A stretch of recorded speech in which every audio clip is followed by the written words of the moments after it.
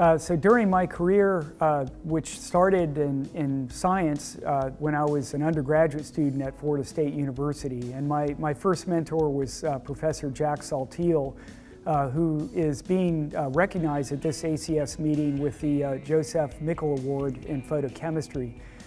Jack really got me going in research and motivated me and sort of raised my interest in the field of photoscience. At that time, we were focused on photochemistry, so that was really my start.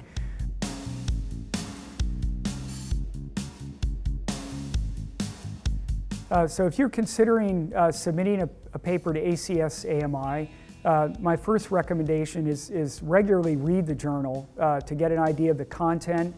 Uh, the audience for the journal uh, is, is represented by the types of papers that we publish. we always advise authors to, to review the uh, the uh, instructions to authors, which are available on the journal website. And uh, you should go over the scope statement, which clearly uh, discusses the types of papers uh, that the journal will consider.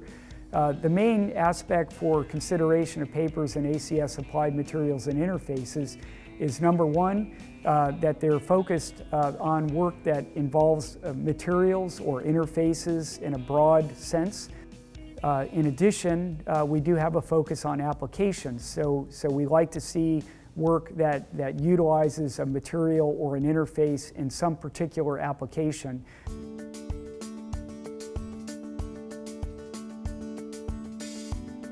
So each year, uh, ACS Applied Materials and Interfaces, uh, in collaboration with ACS Publications uh, and uh, the Colloid Division of the American Chemical Society, uh, has featured a uh, Young Investigator Award. Uh, last year's award winner uh, was a uh, scientist, uh, Professor Yanli Zhao from Nanyang Technological University in Singapore. And he, he was noted for having published nearly 20 papers in the journal during his, his short career uh, as well as making significant contributions uh, to the area of uh, nanoscience and, and specifically with applications of nanomaterials uh, to uh, medical, biomedical uh, applications.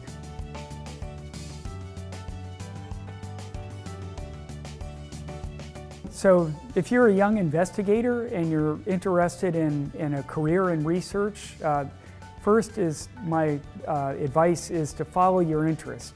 Uh, the first step is, is to go to meetings and, and uh, network and, and interact with other, other people your age. ACS meetings are a great place to do that. Uh, presenting your work at a poster, for example, is a good way to organize your, your first uh, research results and present them to colleagues.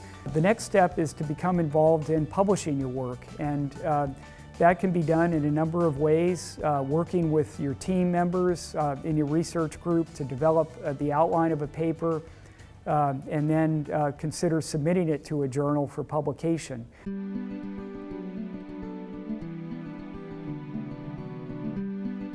Uh, ACS Applied Materials and Interfaces is, is very proud to celebrate its 10th anniversary this year. the journal launched in 2008 uh, areas which have really become uh, quite exciting are the areas of uh, energy science, specifically uh, materials for energy storage, battery materials, supercapacitor materials. We publish uh, typically about 100, 100 papers in each issue and the issues appear uh, weekly, so it's a, it's a very content-rich journal.